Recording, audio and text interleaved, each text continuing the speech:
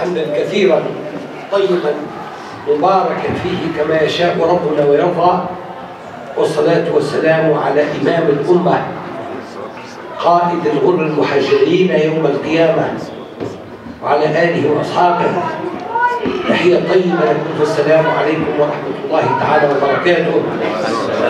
أنا أشعر باعتزاز أن نكون في بيت من بيوت أذن الله أن ترفع ويذكر فيها اسمه. وأن أكون مع صفوة المجتمع المسلم في هذه الديار. أنتم تشكلون هذه الصفوة. أنتم تأتون إلى المسجد تأتون للصلاح الفردي يقينا لأن كل واحد منا رغبته أن يصفو وأن يستقيم وأن يكون محل رضا ربه وأن يتهيأ لأن يكون له مقام أسنى عند الوقوف بين يديه تعالى. لكن كذلك اهتمامنا بواقع أمتنا يجعل من الذين يرتدون من المسجد الأقرب إلى دراسة واقع الأمة وفهم أحوالها. نأتي للمسجد لا لنستمع خطبة ثم نرجع إلى بيوتنا وإنما نأتي لنتدارس واقع الأمة. وأعلم أن واقع الأمة يصيبنا بألم شديد. أولا لأن ماضينا كان ماضيا أفضل من حاضرنا الأمم تتقدم ونحن تأخرنا وتأخرنا بالنسبة لماضينا. لم نتأخر بالنسبة لغيرنا الآن هذا باب ثاني. وإنما نحن تأخرنا بالنسبة لماضينا لأن أمتنا كانت في مظهر من مظاهر العظمة علما ومعرفة وثقافة. ثم عملا وسلوكا. كان فيها عدل واستقامة. وكان فيها منكر كان فيها عصاة كان فيها مظلمون. لكن الشكل الذي قامت عليه الأمة شكل أمكن له أن ينتفع بالصالحين في المجتمع. وأصبح كل إنسان قادر على أن يبني كيان الأمة. والكيان تعلمون أنه من بعثة النبي صلى الله عليه وسلم إلى قيام الدولة الأموية أمل أمد قليل. ستون سنة تقريبا قامت الدولة وأصبحت الدولة عتيدة وقوية. وفي القرن أوائل القرن الثاني 120 قامت دولة عظيمة تسمى الدولة العباسية. وهذه الدولة أمكن لها أن تبسط نفوذها على جزء من العالم وأن يزهو فيها العلم والعلماء وتوجد فيها المعاهد والكليات والطرقات والقناطر والكبريات والمستشفيات ومعاهد العلم والمعرفة وتتوجد المال في الأمة فيقضى على الفقر ويصبح الناس كل يعملون. هذا مشهد نقرأه في التاريخ. وهذا المشهد عندما نقرأه نصاب بخيبة أمل عندما نرى أنفسنا مشتتين ضائعين ونرى الأمة تكثر عددها ولكن تكثر مصائبها. ونرى الأمة اليوم في مفترق طرقات غيرها من الأمم أقوى منها.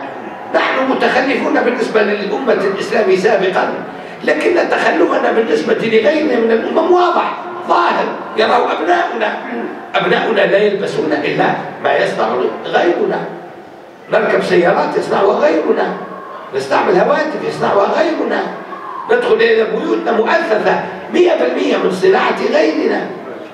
هو اللي يبني الطرقات غيرنا يبني مطاراتنا يبني موانينا يبني مستشفياتنا يبني كلياتنا معاهدنا مدارسنا يبيعنا السلاح لندافع عن أنفسنا يبيعنا الملعقة لنأكل بها طعامنا يبيعنا المشرط لنتولى مداواة المريض والقيام بالعملية الجراحية يبيعنا حبة الدواء عندما يصيبنا مرض في رؤوسنا فنطرق باب غيرنا نأخذ منه حبة دواء لنداوي بها رأسنا ساعتنا من عنده نظارتنا من لديه أحذيتنا هم الذين يصنعونها. ما الذي بقي لنا في الكون؟ ماذا نفعل نحن في الكون؟ نحن أمة تأكل وتشرب فقط نأكل نستهلك نتوالد يكثر عددنا. أصبحنا مليار وسبعمائة مليون ننتظر عندما نصبح مليارين. لنحتفي بالمليارين. مليارين تابعين لغيرنا عقولنا يصنعها غيرنا ليش هذا؟ ما الذي وقع؟ ما الذي حصل؟ الذي حصل يا أبنائي مرحلة طويلة من الزمن. مررنا بها خمسة قرون تقريبا. هي مرحلة انحطاط. عندما عطلنا نظرنا وفكرنا وتصورنا أننا خلقنا لنصلي ونأكل ونشرب دخلنا المساجد. غيرنا يبني ونحن لا نعلم لا نفهم. غيرنا يخترع ونحن لا نفهم. وقوبلنا بعد ذلك بجيوش تأتينا يدخلون أراضينا يحتلوننا أخا خيراتنا إمكانياتنا استولوا عليها. ناظر آباؤنا وأجدادنا لاسترجاع حريتنا. استرجعنا حريتنا وكنا نتصور إذا ذهب المستعمر سيذهب معه الفقر والعار والتخلف. لكن ذهب المستعمر وبقي العار والفقر والتخلف. لأن العار والفقر والتخلف جاء قبل المستعمر ولم يأتي مع المستعمر والمستعمر لم يأتنا إلا لكوننا متخلفين. لأن لو كنا متقدمين ما تجرأ علينا المستعمر ودخل أراضينا. جاءنا بعد ذلك الاستبداد كثير منا يعلم الذين يقارنون بين وضعهم في ديارهم الأصلية وكيف فروا من ديارهم أو لم يجدوا خبزا ولا طعاما. فخرجوا ليتعلموا أو ليأكلوا ويشربوا أو ليطلبوا اللجوء أو يطلبوا الأمن. رحنا إلى الغرب الذي كان يستعمرنا قلنا له والله حكمكم أفضل من حكمنا. عدلكم أفضل من عدلنا. وأتيناهم ليحمونا وحمونا. ونحن نعيش بين ظهرانيهم. بل جزء منا أصبح مواطنين فيه. هذا الوضع إبنائي هو الذي يجيش في خلد كل واحد منكم الحاضرين. الكبار مثلي لكن الشباب الذين هم أبنائي وأبناء وأبنائي هم الذين يحسون بالضيم الآن.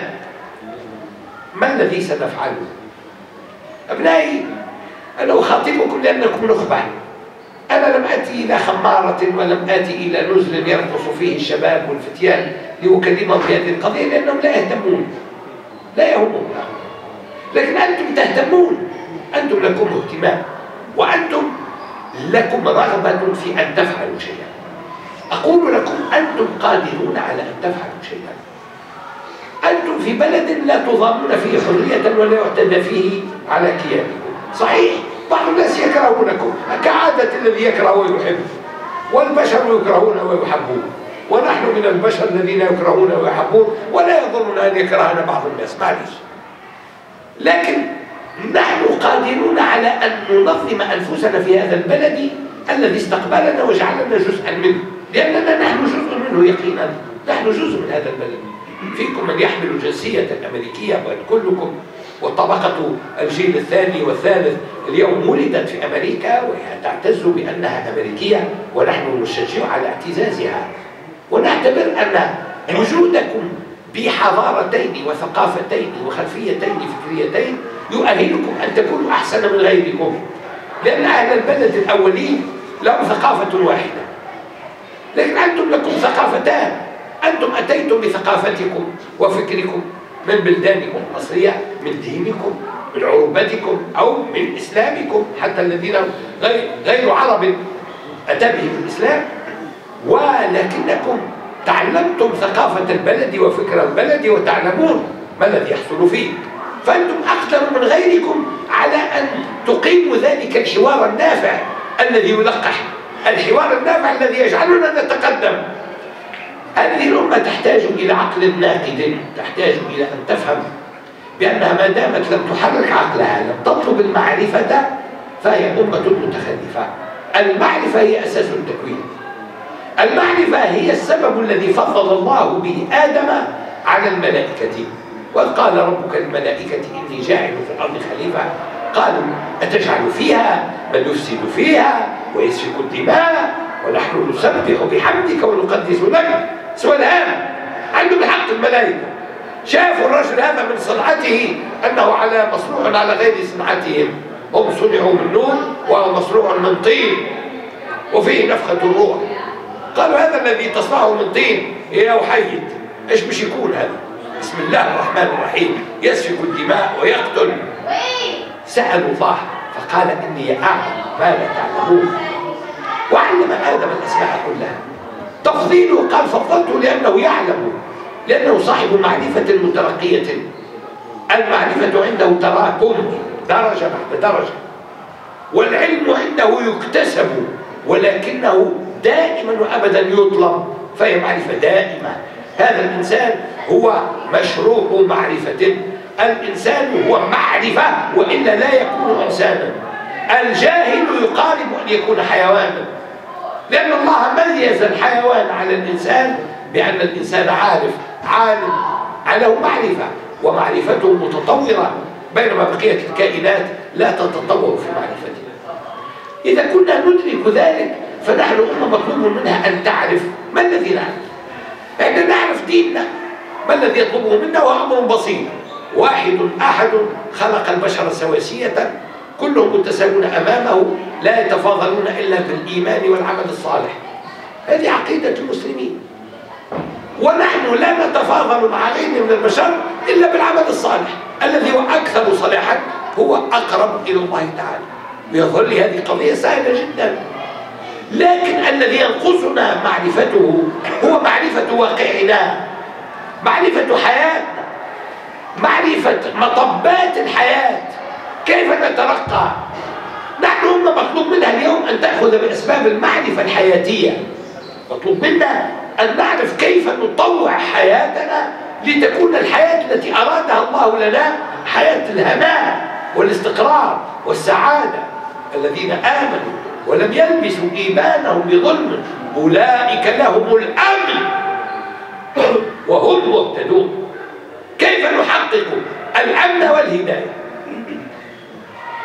الأمن والهداية لا يتحققان إلا إذا أدركنا كيف يمكن أن نقيم المجتمع ونتعامل وكيف نكون مصلحين وكيف نكون منتظمين.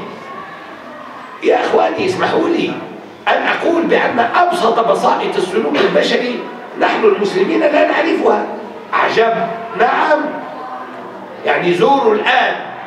نتكلم ولا ما نتكلمش نتكلم. برا خلينا نتكلم. تفضل. روحوا حماماتنا في مساجدنا. في الأماكن العامة التي نرتادها نحن المسلمين. وروحوا حمامات غيرنا عندما في محطة قطار أو محطة طائرات أو محطة حافلات. وقارنوا بين حمامنا نحن وحمامهم. تعرفون النتيجة. لا أتكلم. معنى؟ هذا؟ نحن أكثر وساخة منهم نحن نأكل ونرمي بالطريق. نحن لا نحترم النظافة. هذه تقول لي بسيطة من البسائط إيش معناها أنت جاي تكلمنا عن النظافة؟ يا أخي محمد صلى الله عليه وسلم فقال الناشئ إن الإيمان بضع وسبعون بضع وسبعون شعبة. أعلاها لا إله إلا الله. وأدناها إماطة الأذى من الطريق. إماطة الأذى من الطريق شعبة من شعب الإيمان. الذي يفقدها فقد شعبة من شعب الإيمان. كيف؟ إيه هكا أراد الإسلام لا أحدثكم عن احترام الغير ولا عن رفع الأصوات ولا عن الخصومات ولا عن الكذب ولا عن النفاق ولا عن المشاريع التجارية الفاشلة لأننا نشترك من المسجد. اثنين من المسجد. دخلت إلى مسجد فوجدت شخصا ينتظرني له لحية طويلة جدا وأكبرته. فقال لي في ركن المسجد قال لي شفت الجماعة اللي هناك؟ هذا اللي عنده لحية طويلة أطول مني. نعم. قال لي هذا سرقني في عشرة آلاف أول كيف؟ قال لي سوينا مشروعا اقتصاديا مع بعض. أمدني بالحساب السنة الأولى وبعدها امتنع من إمدادي بالحساب وأكل رأس المال والأرباح.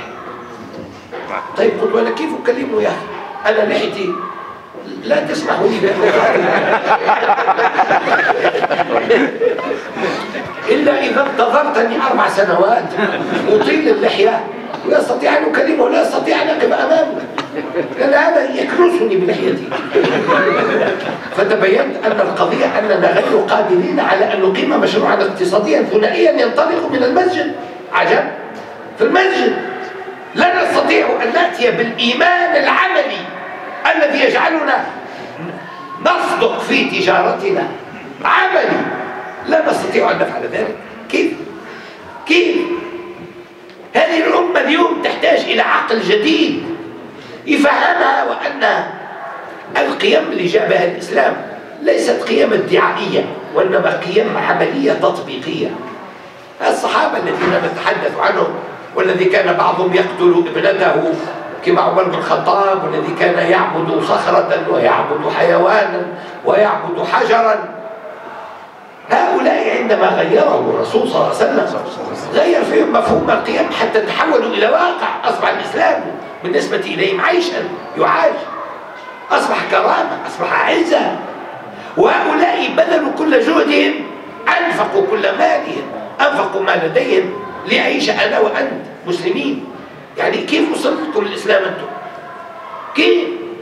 كيف وصلنا إحنا في شمال أفريقيا الإسلام ناس خرجوا من المدينة المنورة خرجوا على نية الموت. ثلاثة يتعاقبون على بغل أو على حصان أو على جبل. وتركوا أزواجهم وأبنائهم وتركوا الدنيا وخرجوا في سبيل تبليغ رسالة ليقولوا للناس لا نريد أن الناس يموتون على الشرك نريد أن يموت الناس على التوحيد. وضحوا في سبيل القضية وعاشوا من أجلها. وبذلك وصلنا الإسلام وتعاقب فينا. إذا إحنا اليوم لا نفكر في وضعنا في بلد كهذا؟ أن نصبح قوة. يعني أن نكتسب المعرفة. نحن دخلنا هذا المجتمع لنكون عاملين فيه. عملنا الأعمال الخسيسة. كنا حمالين وكنا منظفين حتى أن نتمكن من المال. وأوائلنا لم يكونوا أصحاب رأي ولا فكر ولا ثقافة. لكن اليوم فتحت أمامنا أبواب الدراسة. نحن مطلوب منا أن يكون أبنائنا أحسن منا. وأن نرقي أبنائنا أن يكونوا صحي أصحاب رأي وفكر في هذا المجتمع. وأن لا نتوخى السلامة التي تقتضيها أنك تصلي وتروح لبيتك ولا تخالط المجتمع. نحن في المجتمع الذي يفرض نفسه علينا بتلفزته بوسائل اتصاله بانتخاباته بدعايته. المجتمع يدخل إلى عقولنا يدخل إلى بيوتنا. نحن إذا أردنا أن نحمينا أنفسنا من النقص الذي في بعض هذا المجتمع فعلينا أن نستوعبه وأن ندخل إليه. نحن ينبغي أن يدخل أبناؤنا الجامعات ويدخل المؤسسات ويصبحون قادرين على أن يكونوا سفراء وأن يكونوا وزراء ومديرين عامين في الشركات. وأصحاب قرار ومستشارين اقتصاديين ومستشارين ثقافيين وإعلاميين يتكلمون في التلفزيون وإعلاميين يخاطبون الناس من خلال الجرائد. إذا وصلنا إلى ذلك أصبحنا متساوين مع غيرنا في الكفاءة والقدرة وسيكون منا من يقود هذا البلد لا محالة وسيصبح منا من هو رئيس هذا البلد لأن هذا البلد مفتوح. على أصحاب الكفاءة الذين يسندهم جماعات القوة. وأنتم إذا تريدون أن تصبحوا أصحاب كلمة فعليكم أن تؤسسوا لمنافذ قوة من خلالها تتحركون. والذي أحدثكم فيه ليس سياسة. أنا لم أقل لكم ادخلوا إلى الحزب الفلاني أو الفلاني. هذا دين. الدين جاءكم لتصبحوا معترفا بكم. نعم أفضل آه.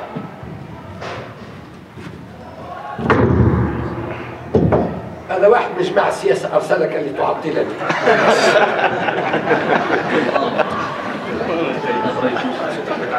دعي السياسة طيب نعم. فنقول لأبنائي أنا الذي أطمع إليه. أنا كبير السن تجاوزت الحدود. ما عادش عندي مطعم.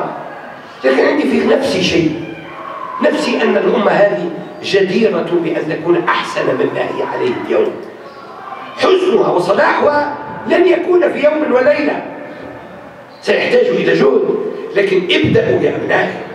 أنتم اليوم أحسن من المسلمين قبل عشرين سنة. لكن ستكونون أحسن بعد عشرين سنة؟ لو كل واحد من المسلمين كم أسرة في هذا البلد؟ ألاف الأسرة لو كل أسرة تعطي ابنا من أبنائها للدراسة في ميدان محدد يكون في الاقتصاد أو في التسيير الاجتماعي أو في الثقافي أو في البحث العلمي أو في السياسي أو في أي ميدان تخصصه وتتابعه حتى يصبح في ميدانه مرجعية. حتى يصبح صاحب قرار. ستكونون إذا كنتم عشرين ألف أسرة. هذا عشرين ألف أسرة يعني مئة ألف مواطن لو عشرين ألف أسرة تعطي واحدا من كل أسرة بعد خمس سنوات أو عشر سنوات أو عشرين عام سيكون لنا عشرين ألف مسؤول في هذا البلد قادرين على أن يبرزوا أن الإسلام ليس دروشة وأن الإسلام عمل صحيح. وعمل إيجابي. لصالح بلدكم هذا ولصالح أنفسكم ولصالح دينكم ولصالح مستقبلكم. نحن نحتاج أن لا نرضى بواقعنا السيء هذا الواقع الذي يرضينا. ولذلك أن تأتوا للمسجد يا إخواني هذا طيب أن تدعوا هذا طيب لكن لا أريد أن يكون ذهابنا للمسجد لنجد أن لأنفسنا متكئا نتكئ عليه. وكأنها عصا نتكئ عليها حتى لا نطالب بعمل شيء فنقول نحن فوضنا الأمر إلى الله. رحنا المسجد وخلينا كل واحد طلب عند الله تعالى قلنا الإمام ادعي لنا. فصعد الإمام فوق المنبر وقال اللهم انصر الإسلام والمسلمين. إذا مهمتنا انتهت. وعندما نخرج من المسجد كل واحد يقول للثاني يقول له يا أخي ادعي لي. إيش معنى ادعي لي؟ يعني أنا مش عامل شيء. من فضلك أنت سوي الأمور. روح شوف آه، طريق مع ربي. قل له كيف يسوي الأمور؟ وعلى كل حال اذهب أنت وربك فقاتلا إنها هنا قاعدون. وانتهت القضية. أبنائي أنا في تصوري أن فيه فيه اليوم إرهاصات لوعي جديد في الأمة. وأنتم قادرون على تشكيله أطلب منكم أن تخرجوا بالوعي لفهم الواقع. افهموا بالذي يحصل في العالم. هذا البلد لم يبنى إلا بالكفاءات المتراكمة من الذين وفدوا عليه من بلاد مختلفة وكل أعطى أحسن ما عنده. وهذا البلد قبل الناس جميعا ويأخذ أحسن ما عند الناس ليصنع منه ما ترون اليوم. أيكونون هم قادرين على أن يصنعوا؟ ونحن نتفرج. إذا أبنائي هذه الكلمة الأولى أردتها لكم. الكلمة الثانية أن نحن المسلمين وراءنا مشاكل جئنا بها من بلادنا.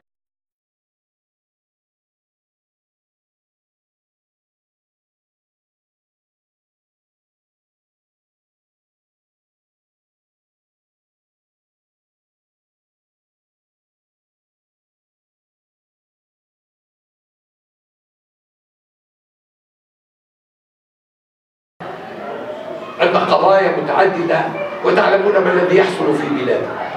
وهذه كأنها أذهلتنا أو غطت علينا مسؤوليتنا هنا وأصبحنا لا نرى أنفسنا قادرين على أن نصبح وحدة متكاملة.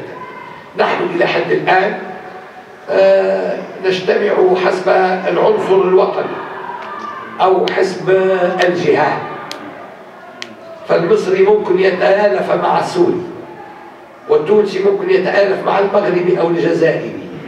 لكن لا يتآلف مع السريلانكي. ولا يرى الباكستاني. ولا يتصل بالهندي. ولا نتصل بالأسود الأمريكي. الذي هو محل اهتمامنا الأول. السود الأمريكان 25% منهم كانوا مسلمين في أجدادهم. وهؤلاء نسيهم المجتمع. يعيشون الفقر والخصاصة والسكر والعربدة. والمخدرات. من لهؤلاء غيرنا؟ نحن مطالبون بهم نحن مسؤولون عنهم نحن يجب أن نفتح أذرعتنا لنحتضن هؤلاء. لأن الإسلام احتضن الفقراء. ست سنوات والنبي يجمع معه أفقر الناس. وصلوا 39 نفرا. فيهم من كان لا يملك غطاء لعورته المغلظة. فإذا جلس غطى نفسه بيديه وفخذيه فانتهى. نعم وهو مع محمد صلى الله عليه وسلم. ولم يملك أن يغطي عورته المغلظة. وكان لا يقف إلا ليلا. في الظلام ليقضي بعض حاجاته لأنه لا يملك ما يستر به نفسه. الإسلام قبله لأن الإسلام جاء لهؤلاء أيضا. فنحن نحتاج أن ننفتح على هذا المجتمع المنسي. وأنتم تعرفونه. وأنا كنت أتوقع أن أجد شطر المسجد ملونين من السود. فوجدتكم الحمد لله كلكم أبيض مني. وهذا مبارك. طيب. وأنا لست اللون الأبيض ضد اللون الأبيض. لكن أقول اللون الأبيض إذا لم يكن معه الملونون كأننا لم نفعل شيئا من الذي فعله الإسلام. لأن الرسول صلى الله عليه وسلم أخذ بيد أهل الضعف وأهل الحاجات. وأهل الضعف وأهل الحاجات بركة لنا. بل هم جزء من مشروعنا. مشروعنا ليس أن نقول للناس قولوا لا إله إلا الله فقط. مشروعنا أن نقف إلى جانب الفقير والمظلوم والمضطهد. لأن أول ما نزل القرآن ورجع الرسول يرجف فؤاده إلى خديجة وكان قد لقى شيئا جديدا عظيما لا يعرفه من قبل. ضمه إليه الملك ضمه إليه حتى أخذ منه الجهد. مرة أولى مرة ثانية مرة ثالثة قالوا اقرأ قال ما لم قال قال اقرأ باسم ربك الذي خلق. رجل شع الرسول شعر بقشعريرة وبرد وسخونة ورجع إلى بيتي يرجف فؤاده زملوني وبقي تحت تحت الغطاء. آه قتل خديجة. آه والله ما يخزيك ربك أبدا. إيه منصور ليش؟ لأنك تقول لا إله إلا الله ليه قاتلوا لأنك تحمل الكلب وتكسب المعدوم.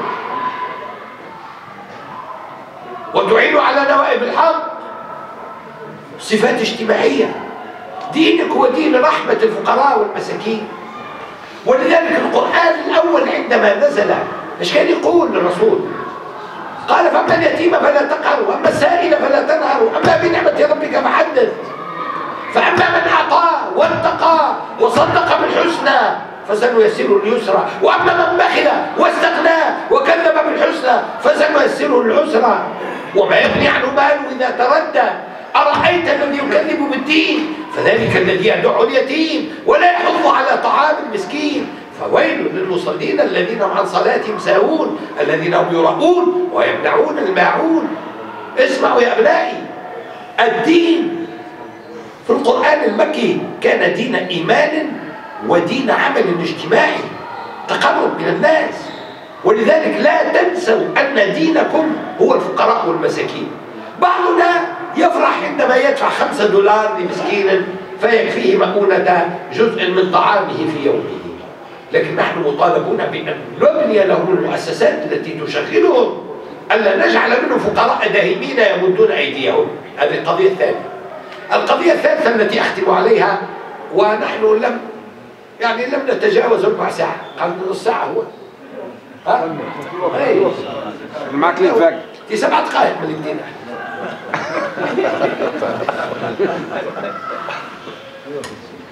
القضية الثالثة يا إخواني الكرام النصر والتمكين والعز والمجد التغيير الإصلاح. رهين وقت. ما فيش قضية في العالم تتم بسرعة. وأصعب الأشياء هو تغيير عقول البشر. أتعلمون أن نبيا قضى في قومه كم؟ 750 سنة. 950 سنة يدعو إلى الله. وما, وما آمن معه إلا قليل. نوح! يبقى في قومه 950 سنة ما آمن معه إلا قليل. إيش معنى؟ معنى هذا النبي فاشل؟ لا هذا من أولي العزم من الرسل. الخامس في أولي العزم من الرسل. ألم يقل نبينا صلى الله عليه وسلم يبعث النبي ومعه الرجل والرجلان ويبعث النبي ولا أحد معه. يبعث نبي ما فيش واحد معه. أليس نبيا؟ هو نبي. القضية وأننا نستعجل ولكنكم قوم تعجلون قال الرسول. ولكنكم قوم تعجلون. إحنا مطلوب منا ألا نعجل. إيش معنى نعجل؟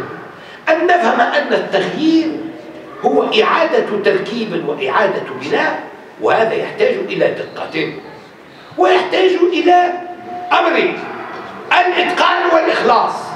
نحن الأمة المطلوب منا أن نتقن عملنا. والإتقان هو عمل المتخصص في تخصصه. هذا هو الإتقان. أن تكون قادرا على فعل شيء متقن يعني دقيق. لا يعلم إلا أهل الاختصاص. وأن يكون ذلك فيه إخلاص لله تعالى. مطلوبين حاجتين الدقة والإخلاص الإحسان والإخلاص. العمل التغييري يا إخواني في الأمة لا تتصوروا لأن إحنا نصاب بخيبة امل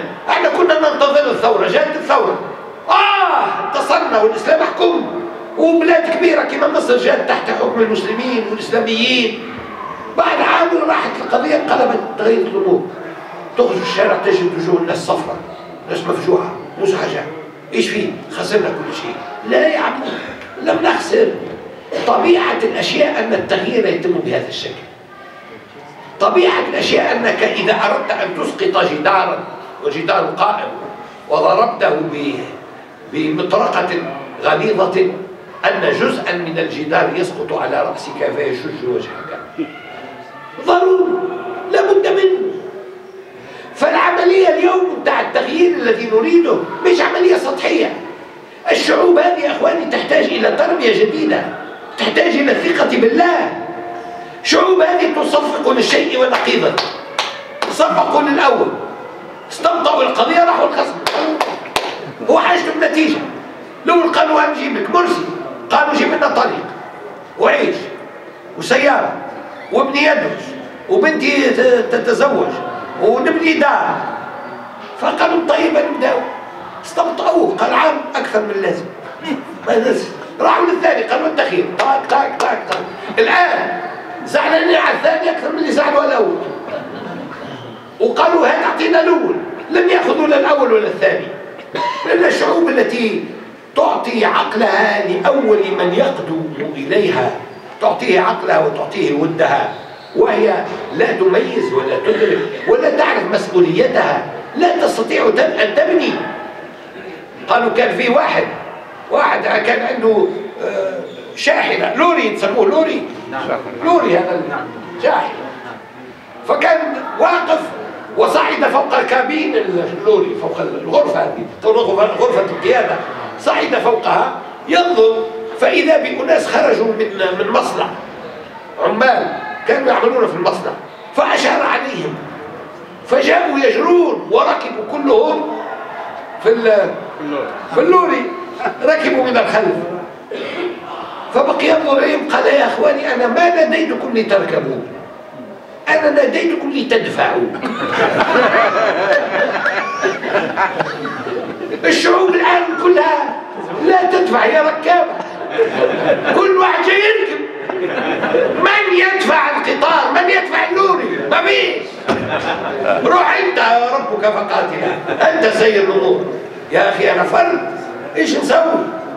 اليوم الأمة تحتاج إلى أن تدرك بأن الوقت هو الذي يساعدها أن تفهم ما هو المطلوب منها. إذا لم تقدم لا تستطيع أن تطلب. ولا يصح أن يأتي مزارع إلى أرض يقف أمامها ويقول لها أنبت القمح إذا أنبت القمح سأعطيك زادك من الأمونيتر. بعد أن تنبت وكلام. يبد أن تقلبها وتطعمها وتعطيها وتسقيها وبعد ذلك تنتظر أن تعطيك النتيجة. ولذلك نحن مطالبون بأن ندرك بأن أمتنا تحتاج إلى تكوين عقلي جديد يساعدنا على أن نطلب من الناس أن يفعلوا شيئا لصالح أمتهم. والذي أختم عليه أن عز المجد سيد الناس محمد صلى الله عليه وسلم. ما طلب من الناس شيئا وإنما قدم للأمة. هذا النبي الكريم عاش في ظل رسالة 23 سنة. تتصورون أنه تمتع بالحياة كما يتمتع الناس؟ ينامون ولا ينام. يعطش ويجوع وهم يطعمون. تتورم أقدامه في الصلاة. يطرق أبوابهم بيتا بيتا. يدعوهم. يسخرون منه. يسبونه يشتمونه يضايقونه. قاطعوه في طعامه وشرابه. ومنعوا أن يتعاملوا معه عامين وأربع أشهر. في شعب أبي طالب والنبي معزول وأهله عن أن يتعاملوا معه. مقاطعة اقتصادية. حتى جاءوا وحتى أصبح البعض منهم يروح إلى الزبالة ليجمع الزبالة ويأكلها هو وأبنائه قال أحدهم رحت للخلاء. فأحس أن تحته وهو يقضي الخلاء شيئا فيه صوت. فلمسه فإذا بجلد جمل نتن متعفن موجود في تلك المزبلة وهو يتغوط عليه فأخذه وصب عليه ماء. وأخذه إلى أهله فرحا وقال لزوجه ضعيه في القدر وأطعميه الأبناء إيش سموا هذا الطعام أنتم؟ إيش سمونه ما الذي تسمونه؟ كبة رز إيش هو؟ جلد جمل نتن متعفن أخذه من تحت البراز وتحت آثار ما يتخلى به الإنسان. يضعه في قدر ليأكله وأبنائه ويوهمه بأنه يطبخ له طعاما هذه حياة النبي الكريم صلى الله عليه وسلم. أتعبوه أضعفوه أخرجوه قتلوا ابنته؟ نزلت أسقطوها من جمل زينب. فبقيت عاما تشتكي وماتت من آثار سقوطها من الجمل. قاوموه في زوجه وأبنائه. تحدثوا فيه. أرادوا إهانته النبي مصر. عندما انتقل إلى المدينة أصبح له السلطان وأصبح له المال. أمران اثنان. هما اللذان هد الرجال الناس هدهم حب المال وحب السلطان. عرض المال على هذا النبي. فقال نحن معاشر الأنبياء لا نقبل الصدقة. وقال معشر الأنبياء لا نورث الذي يظن أنه سيرث مالا مني فلينسى القضية. لا يهمني المال. ولذلك لم يوزع على الزوج على أبنائه بعد وفاته. وبعد زو وبعد وعلى زوجاته مال بعد الوفاة. قالوا لهم النبي ليس له ملك.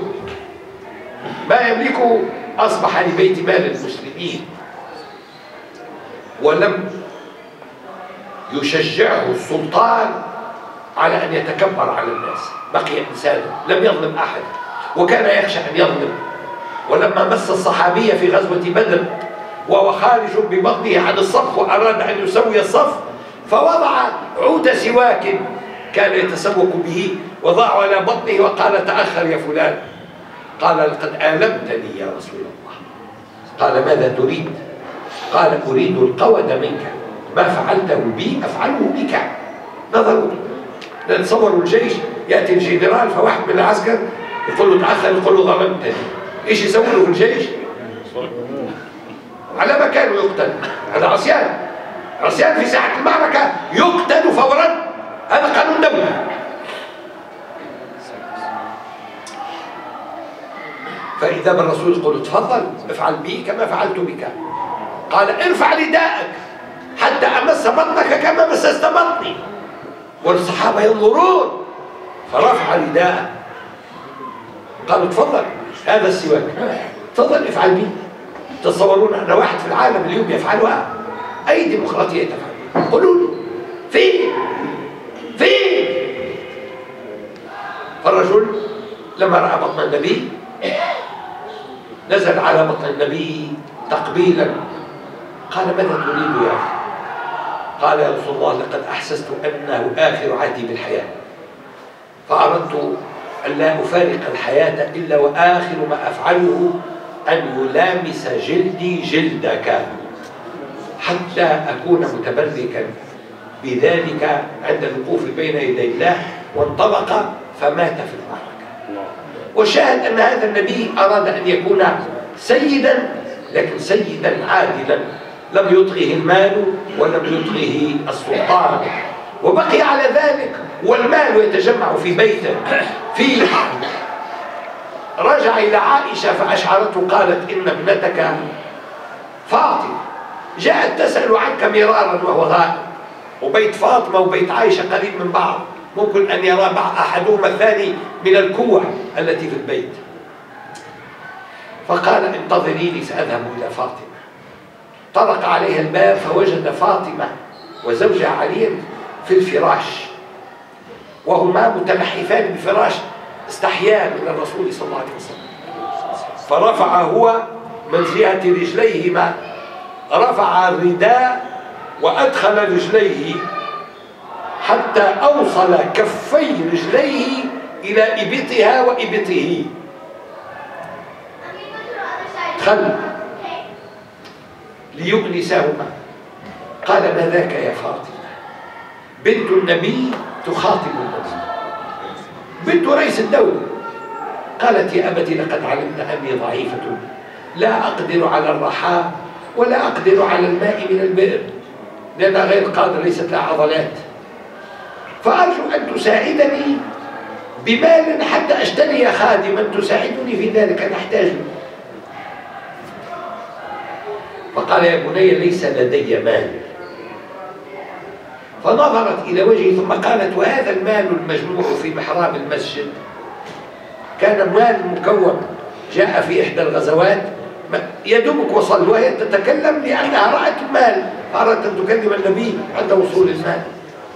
قال يا بني هذا ليس لي وإنما هو لأهل الصفة. كيف؟ رئيس الدولة قال البنت قال لا سأعطيه لأهل الصفة. فنظرت ثم بكت. قال يا بني أكثري من قول سبحان الله والحمد لله ولا إله إلا الله والله أكبر. وتركها بدون خادم ولم يعطيها مالا. والمال بين يديه ونادى بعد قليل صحبه ليوزع على أهل الصفة. هذا النبي الذي قهر السلطة وقهر المال. عاش لأجل قضية ومات على القضية وقبل أن ينجز. ناداه الله تعالى. قال أنت ستنتصر انتصرت في حنين ستنتصر في المعركة النهائية. التي تسمى فتح مكة. إذا جاء نصر الله والفتح ورأيت الناس يدخلون في دين الله أفواجا فسبح بحمد ربك واستغفره تذكر أن ما تم لك هو بفضل الله ليس بفضلك ولذلك استغفر ربك من أن تشاركه في ادعاء الإنجاز فالإنجاز بيده. سبح بحمد ربك واستغفره إنه كان توابا. قال له الله تعالى إن الناجحين والمنصورين يطأطئون رؤوسهم عند النجاح لأنهم ينسبون النجاح إلى الله. لا يقولوا أنا فعلت وأنا قلت وأنا وجهت وإنما هو الله. وفعلا مات النبي صلى الله عليه وسلم وهو يقول مرحبا بالرفيق الأعلى ثم يستيقظ في سكرات الموت فيقول يا رب لا أسألك عن فاطمة ولا عن الحسن ولا عن الحسين أسرتي هذه. وكل واحد منا يتذكر أبنائه خاصة في الشدائد ولكن أسألك عن أمتي. يا ربي أمتي أمتي. سأل عنكم يا أخواني مات من أجلكم. يحمل قضيتكم يحمل همكم يشعر بكم يحبكم. مات وهو يذكركم لأنه يعلم أنكم أنتم سترفعون مقامه. وأنتم ستعلون رايته وأنتم ستجعلون دينه ينتصر وستجعلون الحق الذي جاء به نبراسا واضحا للعالمين.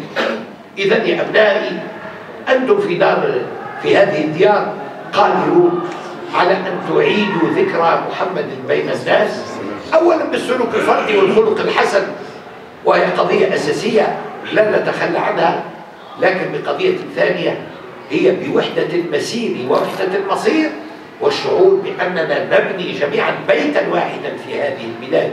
وأن بيتنا لن يقيمه غيرنا سنقيمه نحن بجهدنا بعرقنا. نحن نبذل في مساجدنا نبذل في مؤسساتنا نبذل في تجمعاتنا أموالنا لأننا لا نطمع بأن الدولة تنفق علينا لأجل ذلك. ولا نكل ولا نمل. ندفع لأننا نشعر بأننا نبني مستقبل أبنائنا في هذا البلد ونريد أن نحفظهم نحفظهم في دينهم لكن نحفظهم في مقامهم الاجتماعي حتى يكونوا أصحاب قرار. أرجو أن أكون قد أجبت على بعض تساؤلاتكم التي لم أسمعها بعد واعتبروا أن هذه الجلسة هي جلسة ربانية دينية وليست سياسية. أنا لم آتي لأدعو لحزب محدد أو لمجموعة سياسية محددة ولا أسمح بأن يكون ذلك عملنا في مساجدنا. بل جئت لأتشاور مع إخوتي في قضية الإسلام والإيمان في هذا البلد ومصير مجموعة أعتز بالانتساب إليها وهي مجموعة هذا الشباب المؤمن الذي يبعث وجوده في نفسي الأمل بأن القضية لم تضع بأيدينا. ما دام في مجموعتنا شباب وما دام فينا من يفهم الحياة أكثر منا ومن هو منتسب إلينا ويعتز بذلك فنحن على الطريق القويم لا محالة منصورون بإذن الله. منصورون بالجهد الذي نبذله منصورون بالتفكير والتقدير والتقرير والتخطيط. لأن الإيمان بالله يقتضي منا التخطيط والتقرير ويقتضي منا المرور من مرحلة إلى مرحلة. أحييكم أشكر صبركم وأرجو من الله تعالى أن أراكم في ساعة تكون فيها الهمة أحسن حالا وأقرب إلى المآل الطيب وأن ننجز ما لم يستطع آباؤنا إنجازه. والسلام عليكم ورحمة الله تعالى وبركاته.